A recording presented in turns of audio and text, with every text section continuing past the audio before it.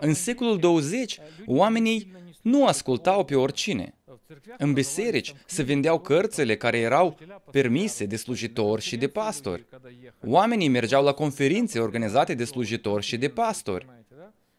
Deci nu propovăduia oricine, nu promovau orice. Totul era sub control. Dar în secolul 21 lucrurile au scăpat de sub control și oamenii spun, noi suntem liberi, putem să mergem unde dorim. Ne alegem acel slujitor pe care ne-l dorim. Dar în secolul 20 nu era așa. Dacă cineva devia, era dat anatemei și spuneau că este un eretic. Și ca rezultat a fost o revărsare puternică a Duhului Sfânt. Dar în secolul 21 este libertate.